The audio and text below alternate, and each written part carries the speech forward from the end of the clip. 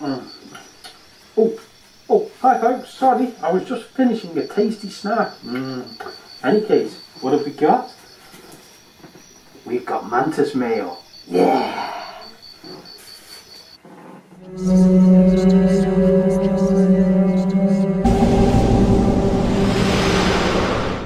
Hi folks, so here's the package we've ordered. It's a Budwing Mantis. I ain't even going to try and pronounce the scientific name, so I'll pop it in the description just because um, I couldn't find anywhere how to pronounce it.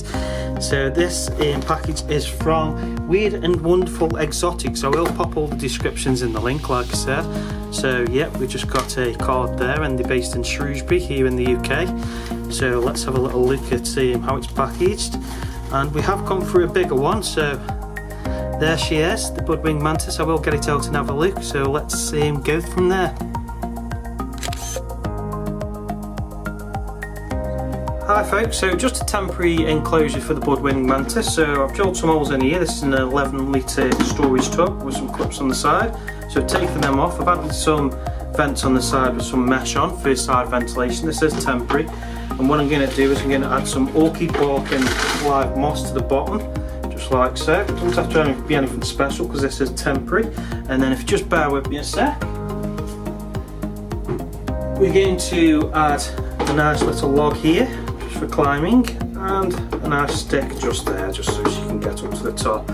I am then going to add some meshing to the top of this. Just get that in view for you. So this will just be added to the top there and we'll pop the lid on there so it locks in and she will be quite happy in there until the other enclosure comes.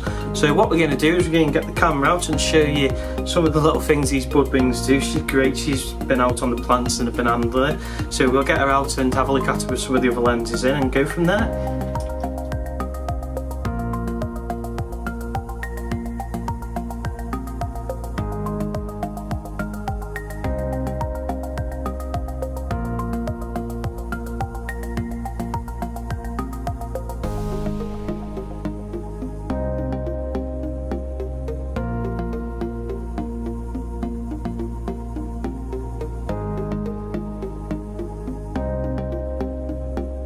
Hi folks, so we're back. I hope the enclosure has helped. Um, it is a simple setup and it probably would be okay all the way through its adult life.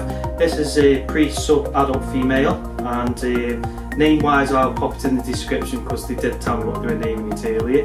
Now these are great beginner mantises in my opinion. Temperature wise they'd be fine just above room temperature or between 23 degrees to 27 degrees Celsius. Humidity wise, spraying these two to three times a week will be fine.